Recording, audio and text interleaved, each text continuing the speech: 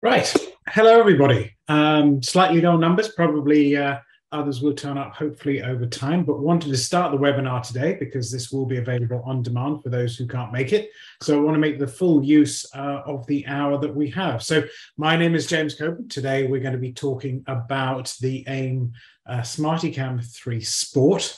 Uh, and more importantly, how to configure it. So what I'm going to do is I am going to share my screen and let me just pop that up um, for everyone to see. And you should, uh, somebody give me a thumbs up uh, in the chat box if you don't mind that you can see this, um, which will be good. And we'll get going.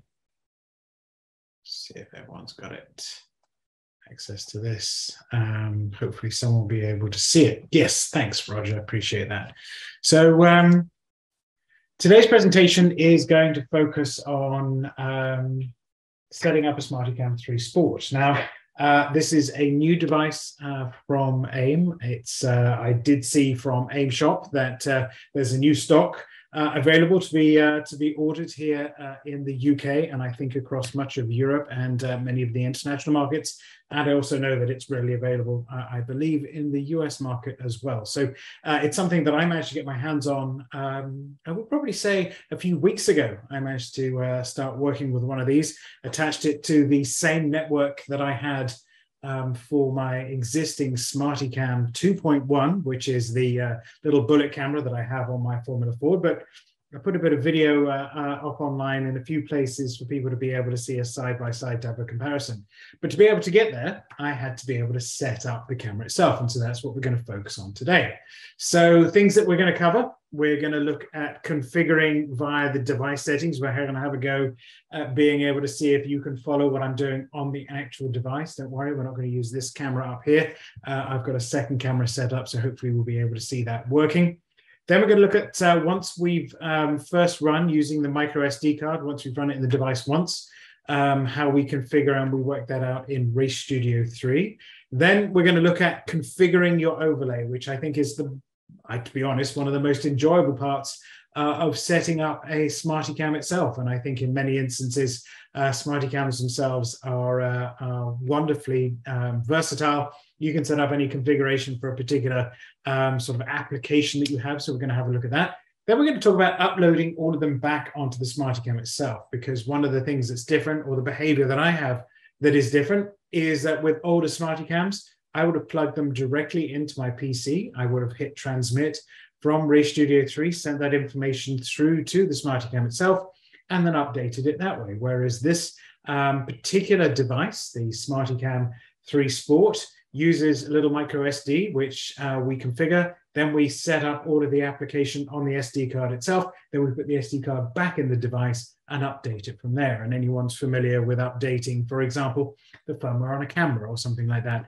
that's a very similar sort of uh, experience. Um, and then the last thing we're going to talk about is some of the advanced SmartyCam configurations, but we're not going to really delve into that today because I think that's uh, a conversation for a very small percentage of people who are going to be using the SmartyCam. But you can do a lot more with this one than you can with the others. And so I just wanted to be able to sort of give a quick sort of recap as to where we are with the device itself, because um, it's uh, a fantastic improvement in many areas over the previous version. And I personally have started to experience this myself. Um, the areas which I believe have made a significant difference are in the areas of the global shutter and CMOS sensor that you've got mentioned here. The uh, movement uh, of the graphics themselves um, seems to have been improved uh, quite considerably. At the end of uh, the uh, uh, uh, event or today's webinar, I will actually show inside a Race Studio 3 analysis uh, the camera running side by side so you can have a little bit of look at what that's actually showing you. Other enhancements beyond many of the aspects that we're seeing here is the fact that it's now 1080p, so you get nicer resolution. And that's not necessarily just a nicer resolution that exists with the actual camera itself, but also the overlays that you put on the uh, on the device itself. So that's a really nice way of being able to have a look at uh, uh, that particular aspect. The unit that I have um, is uh, is a great demonstration of a device that has had um, a bit of best way to describe it, sort of a sort of a, a bit of a knock. It's it's uh, had a few knocks. It's been used uh, when uh, the AIM folks sent it over to me. Said, "What would you like? Do you want a new one, or do you want one that's uh, that's that's available here?" I said, "Look, absolutely delighted to use anything that you send me. So they sent me one that's been involved in a, uh, a, a collision with a go-kart and actually had rolled. Yet at the same time, you'll see from the camera footage that it's absolutely fantastic. So the durability of these new units is fantastic. They are absolutely, um, it feels like bulletproof in many respects, which also goes for the glass on the front. And I don't know if any of you who've experienced a SmartyCam and have it outside your vehicle, which is it doesn't matter how small that little bit of uh, screen is, you will always hit a fly. Uh, it doesn't matter how it happens in every instance that you do, but uh, you will actually hit a fly the size of the screen at times. And so it's important that it's not just a fly that you hit, it might be a stone or a chip. So there's other things that are on here that are nice. But what we're going to talk about today is we're going to talk about setting it up because I think it's one of the things that I've received a number of questions uh, on uh, my channel, a number of questions from people who actually write in the comments or they send me emails through the website. So I think it's important uh, that we have a look at that. So we're going to get into a live demo. Now, to be able to do that, what I'm going to do is I'm going to stop sharing and I'm going to switch my camera.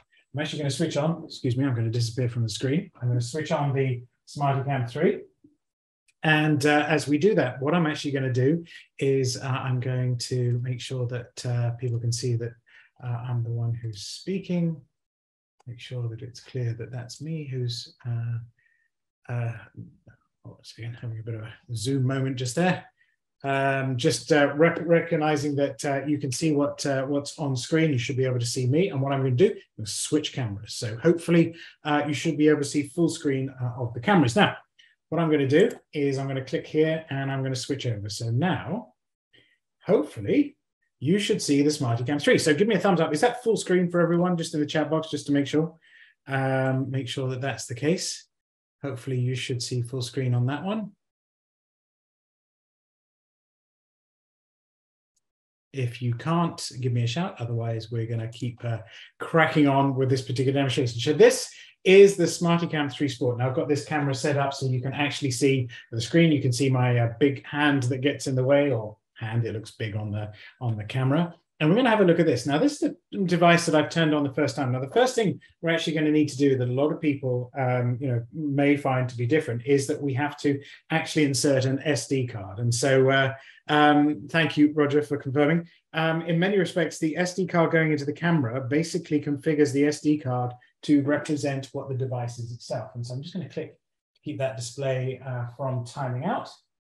And I'm actually going to stick the SD card in the side. Now, as I do that, one of the things, always uh, just like putting a USB into power, always put things in the wrong way around. It's just uh, what happens. Now, as I put that into the device itself, um, it will generally sort of work out uh, what's happening. Uh, it flashed up quite quickly on screen, but it said the words SD card ready. Uh, this one's still figuring it out. Usually what happens, you will see just up here on the actual device around about here, it will tell you over time once your SD card is inserted, how much space is actually available on that card itself.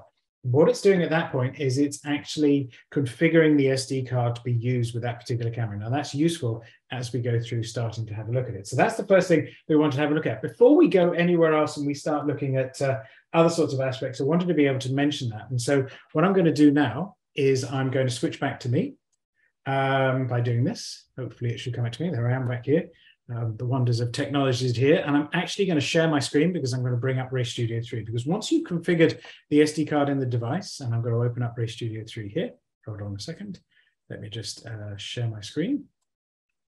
Uh, where are we? Zoom. This is the conversation. Click on share screen. Next one I'm going to do is I'm now going to share the Race Studio 3. So this is Race Studio 3. Now, in many instances, if I plugged in a SmartyCam, typically what you would see is these two little arrows would have a little bit of green illuminated in them. It's one of the things that you generally tend to see um, when you're using the uh, uh, any of the devices that are connected to Race Studio 3. But if you plug in an SD card, anyone who's got experience with a memory module, for example, when you put the SD card in to download the data, this doesn't necessarily illuminate. But if you want to be able to configure your SmartyCam 3, this is the first place you're going to go to. And what you're going to do when you do that is you're going to see that the SD card, and it just so happens for the wonders of demonstration, it's very much sort of, here's one I made earlier.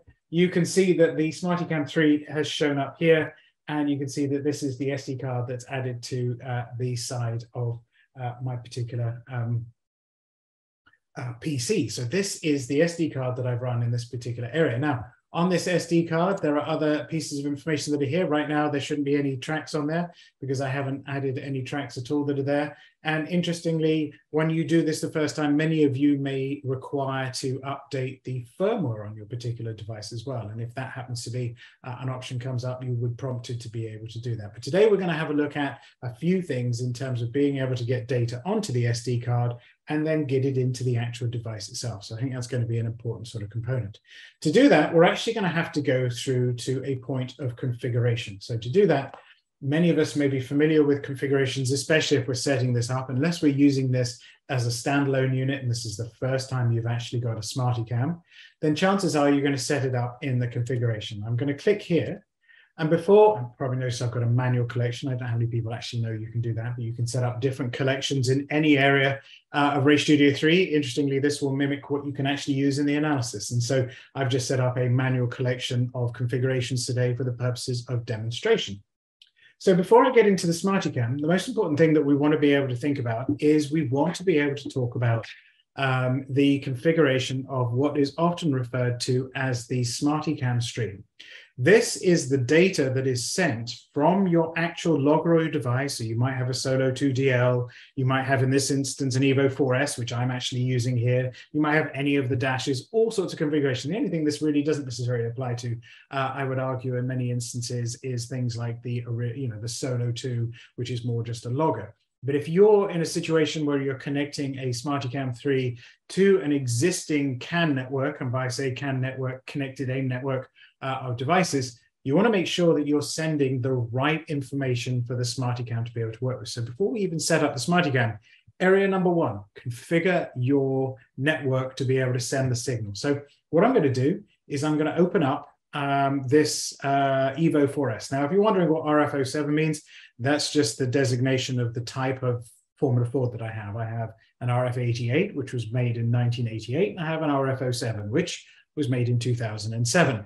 And so that's just how I remember what the configurations are for this particular device. Don't worry, yours will be called something slightly different. So if I double click here, um, it's important that uh, many of us know what this looks like. If you're not sure about setting this up, we have got tutorials on the uh, AIM Shop YouTube page uh, that will help you find this information as well as if you're interested, you can also find it on my YouTube channel as well as many of the other channels from AIM2. But this, um, uh, as part of the webinars we've done in the past, has been setting up uh, your SmartyCam stream. So we're not going to dwell too much on it today, but if we go to this particular tab here, we'll notice there's something called a SmartyCam stream. Now, for many of us, this is the stream that we're very familiar with. And what we do is we map these particular variables, which we use for the SmartyCam in its configuration with the actual channel that's coming into our particular device. So this represents the channel that I have connected to the RPM. This represents GPS speed that's coming in from my GPS sensor.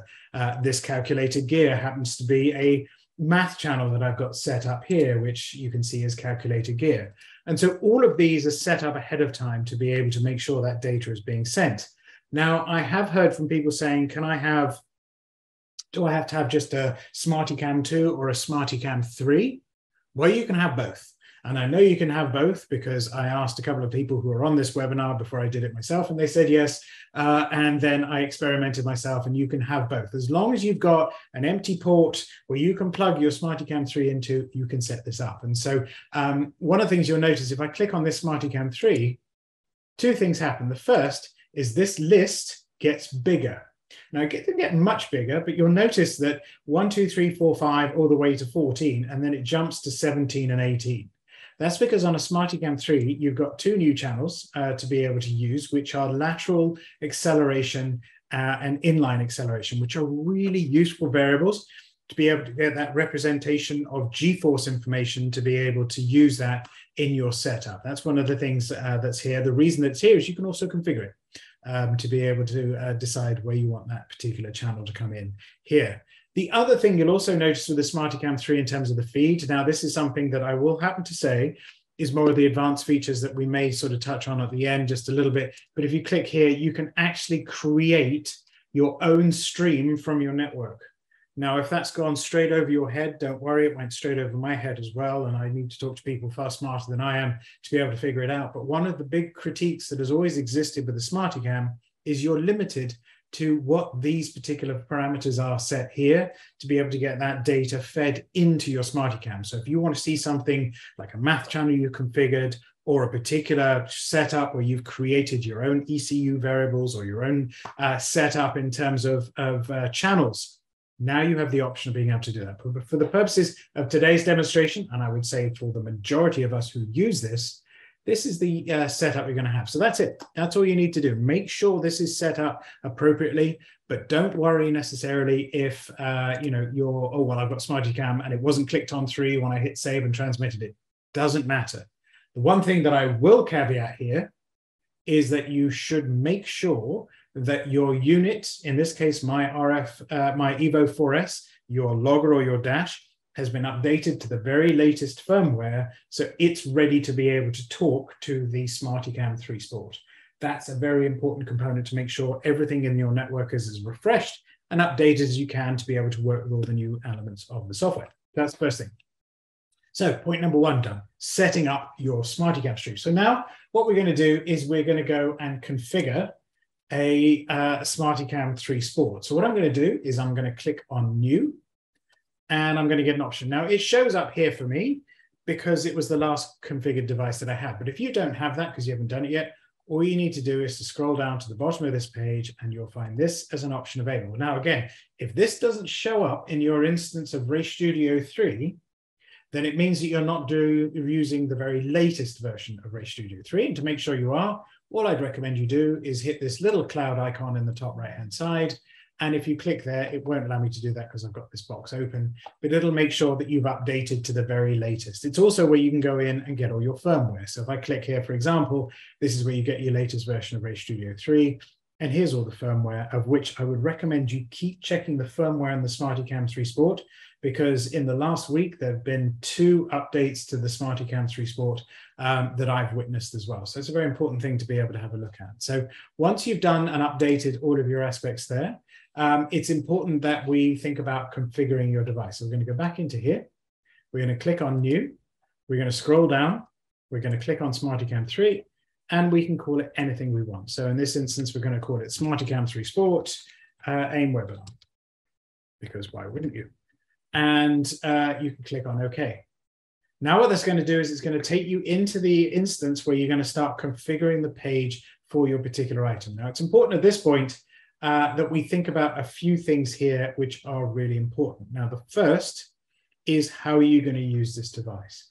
For many of us, and for nearly every instance that I've seen of people using a SmartyCam, it is connected to a CAN network or a connected AIM network and is being used in this instance is connected to a master. However, just like with previous versions, you can use it as a standalone item. So if you're configuring it as a standalone, it means you're going to get the channels that are being fed into the SmartyCam, which in this instance will come from potentially something like a GPS module that you've got plugged into the SmartyCam. So you can see the GPS channels that are available.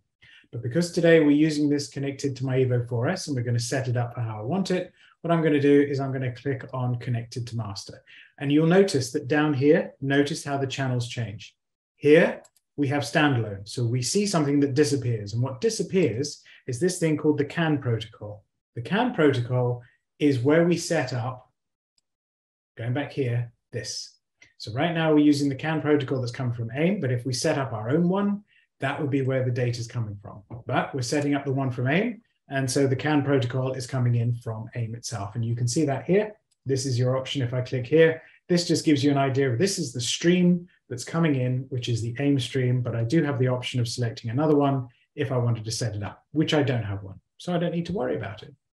So we've got that. And next thing we want to be able to do is to potentially set up our overlay. So area number two, setting up your overlay in the SmartyCam 3 Sport. Now, a few things immediately that some of us who've got a SmartyCam will be very familiar with on the screen. We'll see the opportunity to be able to bring in these lovely graphics. We'll see the image that's available here, and we'll see the channels down here. Not too dissimilar, I would say, from setting up a SmartyCam 2. But there's one thing that I turn on almost immediately when I'm setting these up, is if I right click on this screen, notice there's something here that says show grid. This gives you this grid that overlays on the page, which means when you're lining up your particular objects, it allows you to be able to place them with accuracy. And I'm actually going to show you that if you do it wrong, some of them are slightly out of place. And if you do it right, you'll have a nice sort of vision and view over it. And you won't be thinking, well, that's slightly out of place and distracting you from actually what you're looking at, which is the marvels of your driving. So we can also change some other variables. We can change the background to give us a different representation of um, in a car, for example. We could say, okay, well, let's see what it looks like if it's mounted on a go-kart that again is very useful. And here's a caveat I would say. We've done a tutorial on setting up the SmartyCam itself. And what we've said during that is be very mindful where you put your graphics because you don't want to put your graphics, which actually takes away from your ability to be able to see what you're looking at. And that's very important. For example, if I grabbed this right here and I put it right here, that would be the most idiotic place to put that on the screen because it takes all of the attention away from what you're actually looking at, which is the driving. Excuse me, the data itself should be a complement to understanding what you're doing as a driver. Whereas you've got a ton of empty space up here, so you want to be able to have a look at it up there. So that's really important. And you can change the background to represent what you're looking at. If you don't want an object, for example, just right click on it and click on delete.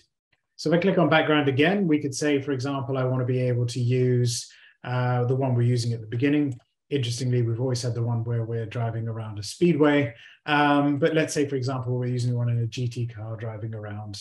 I'm guessing this could be something like, I don't know, probably, I don't know, somebody may know where that is. It looks like probably somewhere in Italy.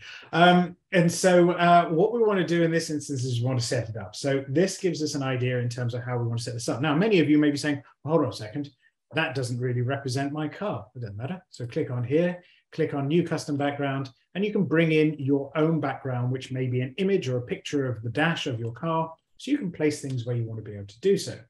So then what we want to do is we want to set this up. So we can set it up in many ways. And there's all these wonderful new graphics that you can click on with it here. There's even custom made dashes that you can put in as well. Now, one of my favorites, which I played around with, was you can actually bring in what a Solo 2 DL would look like uh, on the screen as well, which uh, is nice, or a Micron S um, or 5S, which is nice. I actually have one of these set up, which I'll show you um, at the end of the demo. You've just got your regular dashes. I think this sort of represents, I'm guessing, maybe a Mustang. Uh, I'm not sure, but they all give you a good idea in terms of what they are. This looks very much like a Porsche. Um, and so you get a really good idea of what the clusters would look like. But what we're going to do is we're going to set one up um, and we're going to set it up just because I've set it up this way, how I would set up my vehicle. In this instance, it would be uh, a Formula Ford. And so what I'm going to do is I want to see information. Um, so I'm going to sort of drop this in here. Um, and it's going to give me an option of being able to decide where that's coming from. Now, this is where it gets interesting. The engine RPM is mapped to RPM, and you can see the aim stream that's coming from my Evo 4S gives me the channel, which is engine RPM, and I've already mapped that to the RPM that's coming in from my vehicle. So that's the feed. Now, if, a if a Formula Ford engine revs to 1400 RPM, something's very wrong. And so what we want to make sure is this is fairly represented in terms of what we want. So we can scroll in here and we can change this to a more realistic 8000 RPM, which I have to say, if it reaches 8000 RPM, something's very wrong. But that's a fairer representation in terms of where the band would be that is there. Now in the new version, we have the option of changing some of the variables if we want to change the font and the colors that are there to be able to move this around as we want to be able to see it. The next thing with speed that we want to do is we want to change this to miles an hour. I'm happy about that. Everyone thinks here in the UK we use kilometers an hour, which we don't use miles an hour. Um, and so uh, in many instances, we'll leave that there. But um, one of the things it's saying participants can now see the application. Are you all still seeing what I'm sharing? Just a quick yes would be nice in the box. Yep, all good. Thank you. Zoom gives you the horror messages that you've been talking for 20 minutes and no one's seen what you're looking at before. And so thanks, Roger, for that. So um, what we're going to do there is going to leave this on GPS speed, but we don't need 160. We'll go 120, even though Formula 4 goes more than 120. This is a more representative band in terms of where you are. You got your miles an hour, which I could change into a decimal if I wanted although I'm not sure if I really care that I'm doing 121.1 or 121.2. 121 is fine for me, so I'm going to leave it on one decimal. So that's set up. And the last thing is gear. And if you remember, that's a calculator gear. So we'll have that set up there. Next thing we may want to bring in is an accelerometer. And we're just going to drop it here. And this is where the grid comes in useful, because if you're somebody like me who's a bit of a perfectionist who loves things being exactly in the right place, um, you can align it up drop it in where you need it to be. This will just give you the data you need and you can change the variables that you want. So if you want one decimal place here, that's a fair representation of what you're looking at. Now, so far, this is not too dissimilar to what we would have done in uh, a SmartyCam 2. So you're like, oh, is there anything new? Apart from the wonderful new graphics, there's some things which I absolutely love that are new. And so let me just show you a few of those. Now, what we're going to do here is we want to bring in a few other variables. So I'm going to put lap time up here, but I'm also going to bring in another lap time, which you can bring in here. Uh, and I'm just going to drop it in here. I'm going to use the grid, just going to drop it there. And I'm going to do it again. You're like, oh, how many of these do you really want? Well, let me show you why I'm setting that up. So here is where we start to be able to bring in some of the new features of the new software, which uh, and the new item that we like, seeing as they're not quite lined up. So I'll probably be about there. See, I've got to stop doing this. Otherwise, this will be the worst demo of the world while I work for millimeters in terms of setting this up. Well, this is where you can start bringing in some additional channels that you didn't have in the previous version. And one of the ones that I love is being able to bring in the channels that we would have been very comfortable with um, if we had a little dash on the screen. Now, many of us love watching at predicted time. Many of us love watching and being able to look at the plus minus in terms of how we're doing as a lap.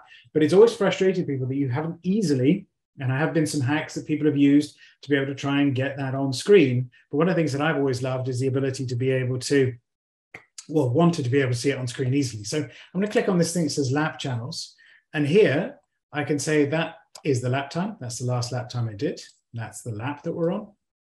But now we get the opportunity of putting in here best lap time, and we have the opportunity now of the thing that's different. These aren't any different. This, however, is much different. So now I can do plus minus the test lap time and be able to bring that in. And so all of a sudden, I can now add a new component, which I have to say, even though this is a configuration overlay rather than necessarily the hardware itself, this update to the software has been such a huge boost in terms of being able to analyze your data and video together if you've got a representation of how you were doing on that lap. So, oh, wow, I broke a bit later for that corner. And all of a sudden you see this completely change. And you're like, wow, that made a material impact on what was going on. And we'll talk about that maybe in some of the demos later. A few other things that we may want to put on here, um, which maybe in this instance, let's throw a track map on here. Uh, that is here. Let's also throw in a little logo down here that we pop in there. And there we go. That's it. We configured how we want it to be. Now we can add loads on here. We can take stuff off. Um, in fact, I'm going to add one more thing that people are always very interested in, which is, okay, well, what if I've got the ability to be able to see um, my throttle trace, for example? Well, on here, you're not seeing what you saw in the previous version in terms of brake and throttle, or throttle and brake. Um, so what you have to do here is you have to build those. And so to do that, what you can do is you hit this thing called the bargraph and you can drop this in. So let's just pop that one in there. That's the bargraph. And what I'm going to do here is I'm going to nominate that this channel is not set. I'm going to go into my CAN protocols. I'm going to find down here, I'm going to find, let me see where it is, throttle position. I'm going to pick this up. It's going to turn into a hand. I'm going to drag it over and I'm going to drop it there. And it's going to now say, this is your throttle position. I'm going to change the decimal down to one, um, which is just going to give me a representation. Again, it's really nice to know that I was at 97.3% throttle, but 97% is close enough for me because I'm not going to have that much accuracy, so to speak, in relation to my foot itself. And I can also vary, eh, depending on where it is now on my car, for example, uh, based on the way that I need to reconfigure the sensor, it doesn't fully open, so it goes to about 97%. So I can just change it so that this bar here represents a fair representation of the fact it goes to 97% or something like that. So that's all I need to do, and I'm done. Now, you may be saying, okay, um, uh, what happens now? Now, in previous versions, I would have done this. I would have clicked on save. I would have plugged my SmartyCam into my PC, and I would have hit transmit. Now, we haven't got that here. What we have, however, is we have the SD card connected. So all I need to do is hit transmit, and that has now sent that configuration to the SD card, which is really important. So that's the first thing I want to be able to do. So that's setting up your overlay which I think is really important to be able to make sure that we're all comfortable with that particular variable. Now, a few other things that we may want to think about on this page. Um, some people like to know uh, things like parameters. What does this mean? Well, this isn't going to work if it's in connected to master mode, but if you're using a standalone, this just sets when the system starts to record. And I do get a lot of questions. I don't know if you've ever experienced this, but have you ever got to the point where you had your start recording data when speed is above 20 miles an hour because you're trying to set it so that it doesn't trigger the video when you're in the paddock. However, the problem with that that I've identified is that if you're in the UK like I am or parts of Europe where a standing start is more commonplace, it means that oftentimes you don't get the start of the race because zero to 20, you have to wait till it hits 20 miles an hour before it actually starts recording. So you get a split second of time that doesn't catch the actual start while the system triggers. So it's important if you're using it as standalone to be able to understand this, but we're not doing it. We're actually going to say connected to master because that's already set up here. If you're ever wondering what the parameters are on my vehicle, it is when RPM is greater than 3000 RPM and miles an hour is set at 20. So I haven't actually updated this one. This one would actually not fully record the start. And so it's important that we uh, we look at this. And so, in fact, no, I have changed this one. It says any which is important anyway. That's a conversation for a different day. So we set that up. So that's all available, which is great. We've transmitted it and it's ready to go. There's a couple of other things that we want to do before we get back to the SD card. So what I'm going to do is I'm going to go back here and I'm going to work on uh, a few other aspects. Now, if you want to be able to use this as a standalone item and you're connecting it to a GPS module, um, it means you need to be able to put tracks on this. And if you click here right now, there are no tracks available here. So what you'll need to do is you'll need to go to this area here. I'm just going to go to track manager and it will load up the tracks and you can see that my connected device is here. And what I'll need to do is I'll need to find the tracks. And so let's say I'm going to do one just because it will make the way that I do the next part of the demo easier. If I did 4,000, it might take a bit longer. And so let's say, for example, I choose one of my favorite tracks the UK, Castle Combe. And so you can see that here's the track. All I need to do is grab that, drag it and drop it. It will transmit it and it's put it on the SD card. Again, that's really important to be able to identify. There's many other ways of doing that. But if I go back here, you'll notice now that the track is available. The last thing I also want to make sure is updated on this particular device is the firmware. If your little cog doesn't show up here, the little two arrows, if you click on here, this will take you to the update where you can download firmware and you can download um, uh, updates to the software. If I click on update device, if I click here, we'll notice that the device has been updated. But if it isn't, it'll say update the device here. What that will allow you to do is, again, update the firmware onto the SD card as well, so you can load it onto the device. And that's, I have to say, if you do those three things, tracks, if you need them, firmware, if you need it, and configuration that you definitely need, that's all you need to do in Race Studio 3 about being able to configure the SmartyCam 3 Sport. The next part is when we get into updating the device itself. And so I'm going to click out of this. I'm going to stop sharing my screen for a second. You're going to see me on screen. Hello, everyone, um, which is there. And what I'm going to do is I'm going to transition this back over to the device itself. So I'm going to click here and I'm going to click on the EOS webcam utility. Sorry, you don't know I'm clicking on that bit. it's just clicked on my other camera. And we're back at the SmartyCam. So you can see my thumbs there, and I'm going to click on that. I'm just going to let it load. And while I do, I'm going to go to get the SD card out of my, um, take the SD card out of this one because that was for demonstration purposes. Notice it's just come out there. I'm going to go and get the SD card out of my PC that will show you what happens next.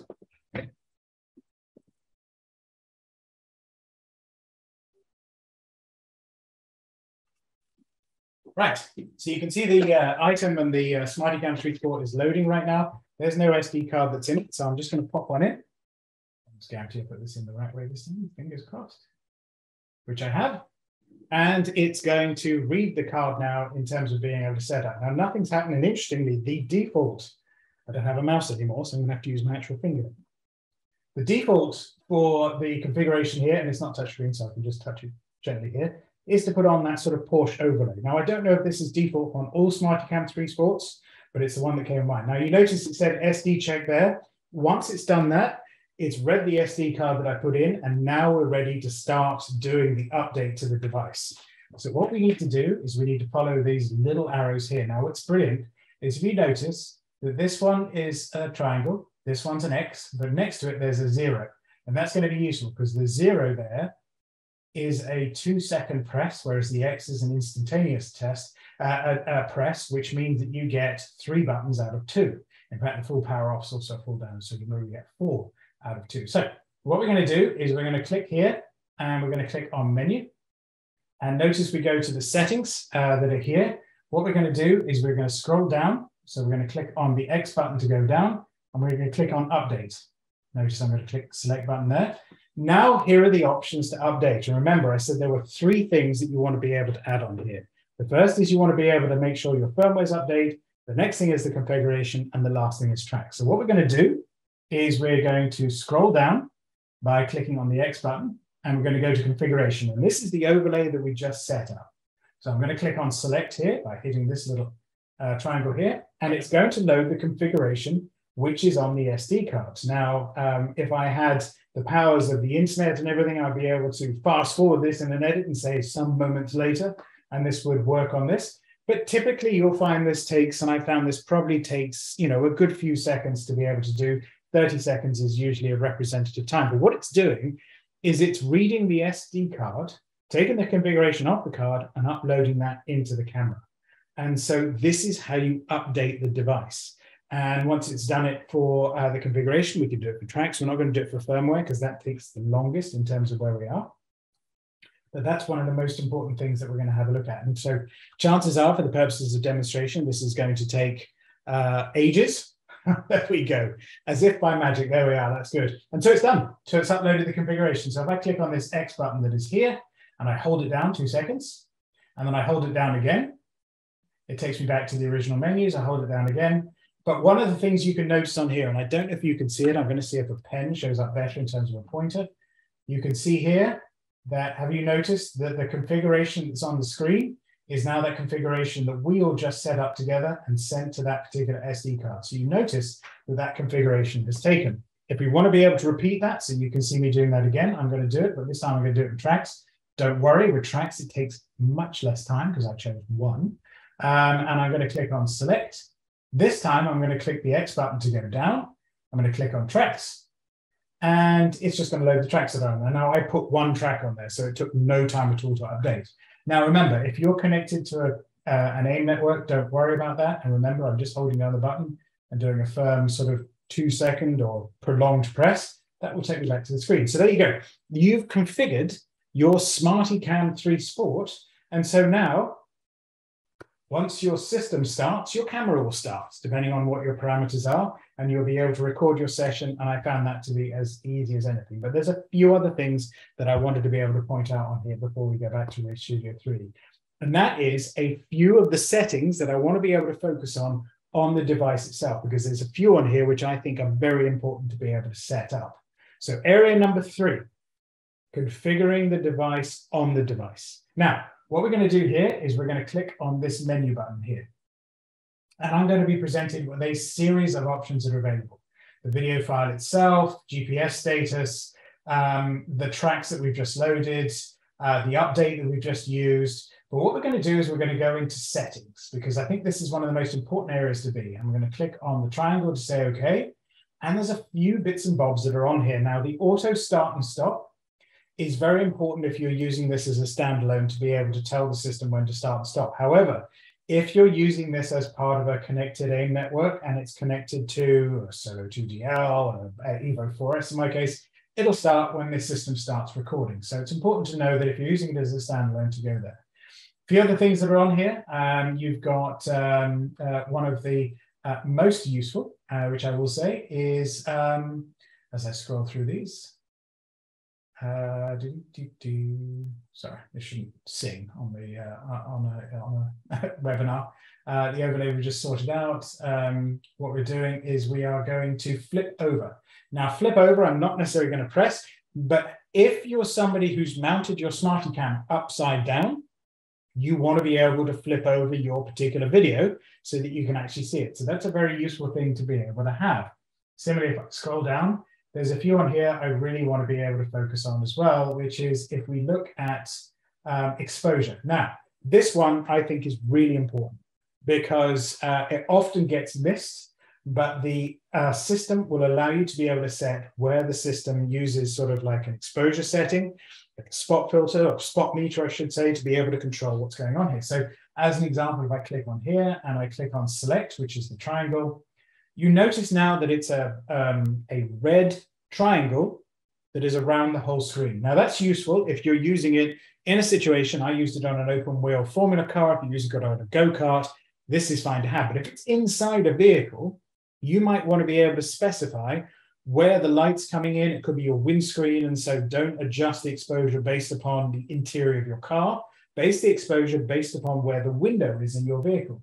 So for example, what we can do here is if, for example, we click here on the change, notice that it now moves around the screen. So if you happen to be choosing where the windscreen is, you can move this around. So I'll give you a great example. Sorry, just keep clicking on this. If you were driving, for example, the um, I drove a Fun Cup, and it was a Fun Cup car. It was the um, Volkswagen Beetle body. So the windscreen was very square. You had a lot of screen real estate at the top and the bottom, and you had a, a thin strip that you looked out of. That's where you'd want to be able to set your exposure because that where the light is coming, that's where the light is coming in. And so make sure you set all of these particular parameters. Now, I'm not going to go through all of them, but that one I would recommend setting. And then the other one I would also recommend setting, which is equally important, and it's very straightforward, is if I click on and down until I get to it, make sure you have set, I'm going to flick past it about three times before I get to the, the is, it's called system time. So I flick past it. Um, and where are we? Export log, system time. Click on select. Make sure you've set the right time, date, and everything. Now, this is very useful for a simple reason that if you are looking at your data files later on in Race Studio 3 analysis, you want to make sure that you have set the right time of day as to when you're recording. Now, I system reset this before we sat down. So notice that despite the fact uh, that the date is, uh, um, well, the actual date is tomorrow, not today um, this needs to be adjusted and changed. And so this is the other thing I'd recommend you do on the device. But if you've done all of these things, I would argue at this point, you're ready to go and be able to start using the device. And so what I'm going to do is I'm going to flick the camera back. Hold on a second. You should be able to see me again. Hello, everyone. Um, and I'm going to bring us back to Race Studio 3 because the last thing I want to be able to show you is what the output of all of the new Race Studio 3 looks like um, based upon um, uh, the updated camera versus the previous camera because uh, I think it's important that everyone gets to appreciate are the differences and where the differences are and have a few sort of examples. And so the last part of today's webinar is actually showing you what these examples look like. So what I'm going to do is I'm going to click um, on share. I'm going to click on Race Studio 3. I'm going to click on share and now we're back to the page um, where we were previously. So I should be able to, uh, just a quick yes on the chat would be lovely um, if you're seeing Race Studio 3 again, um, which would be wonderful. I think uh, um, hopefully I uh, am presenting. Well, if I'm not, do let me know so I don't ramble on for 20 minutes on a blank page. And so what I'm going to do here is I'm going to take you through some examples. Thank you so much. Um, many of you are responding at the same time. So what I'm going to do is instead of being in here where we've done all our configuration and setup, I'm going to go up here to analysis and I'm going to open it up and I'm going to show you these files. Now these are the last time I ran, but the most important thing about these is that this is where I ran um, with both a SmartyCam 2.1 GP and a SmartyCam 3 Sport running at the same time. And so I'm just going to give you a few examples of some of these that are here. So if I double click and open this one up here, you'll see that it loads up this RFO7 driver analysis. This is my driver analysis. This gives me information about what I've been doing, time distance, all the stuff is here. Now, in the last webinar, we talked about why is data and video analysis together so important. And the reason was, was that it allowed you to be able to see, which took out the final piece of mystery that exists in terms of analysis. But the beauty of Race Studio 3 is if you're running two cameras, it will show you two cameras linked to the file. And so here you can see Race Studio 3, sorry, you can see Race Studio 3. Here you can see the SmartyCam 3 Sport, which is here. And you can see the, um, uh, uh, what is this one called again? Sorry, uh, the SmartyCam 2.1 GP. So this is the previous version that I have. So first and foremost, you can see the difference in terms of some of the aspects of the lap here, which are good. So I'm going to put on mute so it doesn't make tons of noise while we're doing the demo. But what I'm going to do is I'm going to play this through for a minute because I want to show you some of the differences you can see. Now, the first thing is, is the ability to be able to handle light. Um, and I think that, uh, you know, there are areas here um, you know, there's a bit of, uh, you know, adjustment. I may change where the actual uh, focus is on this one going forward, but let me just play them anyway so you can see these side by side. So first and foremost, the first thing I want to be able to make sure that we're all looking at in this particular instance, and hold on, let me go back to the best lap at the beginning, um, and is that we have the ability to be able to see this here. So notice this is moving. What this is doing is this is sort of working out how I'm doing versus my best lap. So the predictive lap time is showing up on the SmartyCam 3 GP Sport, which is nice. Whereas here in the SmartyCam 2.1, we're not seeing that particular area. So notice I did a better job exiting that corner and all of a sudden. So again, if you're there, you're like, oh my goodness, I've done a much better job of exiting this corner. I felt great. Something was going on. What was happening? Now, interestingly, um, this person's cheering as to how good a corner I did there. As you can see, they're delighted with the fact that I'm two uh, 12 uh, hundredths of a second up. And so if I click on that, you can see, do I uh, keep it going throughout the lap? And that's what's really important. We can see how things ebb and flow as we go through. Other things we're also seeing, and I'll just sort of play it for a little bit longer. Look at how much shaking's on the right-hand side to the left-hand side. That's the new CMOS sensor being able to adjust for the shake. Now, some people have commented, has that something to do with the mount? That there might be a little bit to do with that. But in many respects, there's a lot to do with the fact that there's a new sensor in here adjusting because both cameras felt um, as um, sort of sturdy and firm as they needed to. And remember, the bullet camera is much lighter. It's tiny in comparison. And so as a result, this shake shouldn't be this much shake coming from a smaller device um, versus the larger one might be more susceptible to movement on its mount. So a few things that are here do you able to have a look at. This was just one of the overlays, and I thought you might all like to be able to have a look at what some of the other over overlays look like. So here's another one that we have. And notice how this is going to be one of the challenges. I have requested to AIM that we can pick the video that we see if we've got two uh, running on a particular device. Um, but at the same time, if I turn off, um, which I believe is this one, we go back to this. Notice how it's a different setup I have here. It's a different configuration. But remember I was talking earlier on about um, the uh, setup with the grid notice here how these are slightly misaligned. And so you're like, oh, I should have done a better job. Should have had the grid, uh, the, the grid loaded. So again, if I click on this one, you can see that, uh, oh, I just started the lap right at the beginning. So if I scroll back, you can see that the graphics look smoother, they look better. Um, and if I made this larger, if I, for example, click on here, um, you can click on the video itself and you can see that in more. So I realized that what I've done is, excuse me a second. What I'm going to do is I am going to, in this instance, stop the share. And I'm going to share again, again. But what I'm going to do this time is I'm going to share the entire screen. So you can see that as I click here, I can choose the video I want to be able to watch. And in this instance, if I pick here, I can now see the full video and I can see the high definition quality of what we're looking at. And so you can see here um, how much clearer the graphics are in representation, and you can see the new graphic overlays as well. So there's a lot of things to be able to have a look at here uh, as we go through. And so with that, um, what I'm going to do is I'm going to uh, really sort of end the webinar and see if there are any questions that anyone has as we're going through. And feel free to write the question in the chat box and we can uh, address that as we go forward.